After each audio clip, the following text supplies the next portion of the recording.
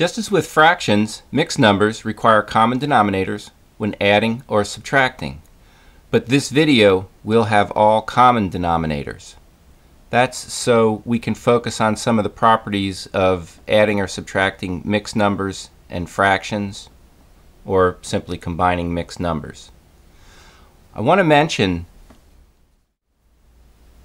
when adding or subtracting just fractions, I like to arrange them horizontally I think that makes it easier for finding common denominators. But when working with mixed numbers or mixed numbers and fractions, I prefer to arrange them vertically. It makes some of the calculations easier to follow.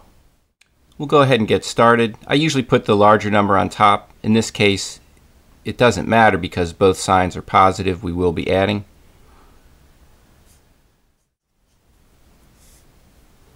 Since we already have 9s. And then 5 and 2 give us 7. 10 and 3 gives us 13. So there's our answer. Looking at the next problem, both signs are the same, so we will be adding. This fraction just goes under the previous one. We have our common denominators, so we keep them. 4 and 2 gives us 6, and this 8 simply comes down.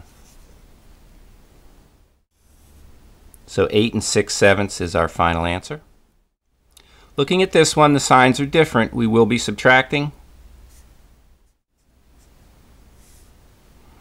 We have our common denominator.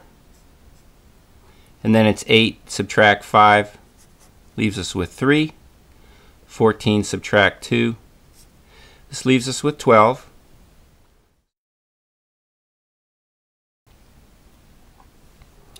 Finally, looking at number 4, the signs are different.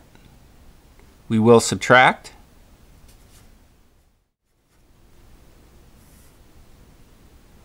We keep our common denominator. 8 subtract 6 leaves us with 2, and this 5 simply comes down. So 5 and 2 thirteenths. Looking at number 5, the signs are the same. We will be adding. We keep our denominator. We add the numerators. 8 and 4 gives us 12. But we can't leave it in this form because 5 fifths is equivalent to a 1. So what we have is 12 and this 5 fifths means we have plus 1. So the final answer is 13. Looking at this problem, the signs are the same. We will be adding. We keep our denominator. 5 and 4 gives us 9. 10 and 3 13, but 9 sevenths is 1 and 2 sevenths. So we can't leave it in this form. This is equal to 13. And then again, this 9 sevenths, we have to add 1 and 2 sevenths. So the final answer is 14 and 2 sevenths. And real fast, this is 9 divided by 7. It goes in once with 2 left over. You keep your denominator. Looking at this one, the signs are different, so we will be subtracting. Now I was careful to put the larger number on top. When you subtract, you always have to put the larger number on top. We have common denominators. But when we try subtracting the numerators, if you have 2, you can't take away 6. If you were just dealing with integers and you had positive 2 with a negative 6, you could say, well, the answer's negative 4. and you would be correct. But what you actually do is you subtract 2 from 6 and you keep the sign of the larger. In this case, you can't subtract 6 from 2. And I can't rearrange them because the larger number, 13, is on top. So what we do is borrow 1 from the 3 and we add it to the 2 sevenths.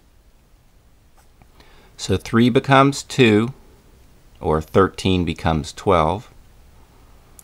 And I need to add it to 2 sevenths. That means I need common denominators. If this is a 7, I'm going to write this 1. I'm adding a 1 here. So that means the numerator has to be 7. So again, I borrow 1 from the 3, and this is the one that I borrowed. Now I'm adding it to the 2 sevenths. This is kind of hard to look at, so I'm going to rewrite it. 12 and 9 sevenths.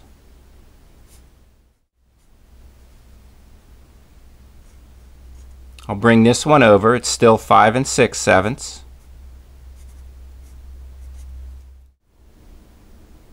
Before I go on, I'd like to emphasize 13 and 2 sevenths is the same amount of stuff as 12 and 9 sevenths. This is just written in a different form. Like on a previous problem when we had 13 and 9 sevenths, we had to rewrite it as 14 and 2 sevenths. In this one, we had 13 and 2 sevenths, but we had to rewrite it as 12 and 9 sevenths. You can go in either direction. Now finishing up this problem, we'll keep our denominator. I guess we just didn't even need that one. And then 9 subtract 6 leaves us with 3. 12 subtract 5 leaves us with 7. So 7 and 3 sevenths is our final answer. Looking at number 8, this is our last problem. The signs are different. We will subtract. Careful to put the larger number on top.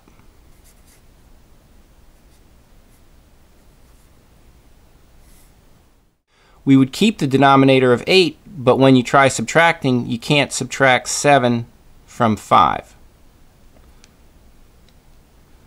So we'll need to borrow 1 from the 6. This becomes a 5. And we add the 1 to the fraction here, which means we need a denominator of 8 and thus a numerator of 8 because 8 eighths is equivalent to 1. Now this is a lot to look at, so we'll rewrite it. 15 and 13 eighths. And we'll just bring over the 3 and 7 eighths. Keep our denominator. 13 subtract 7 is 6. 15 subtract 3 is 12.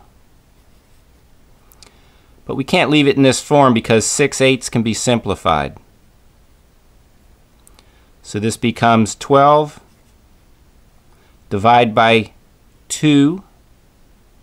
You're left with 3. Divide by 2. You're left with 4. So 12 and 3 fourths is our final answer. If you'd like a little practice with these concepts, long as you're at my website, mrb4math.com, you can download a worksheet with a detailed answer key.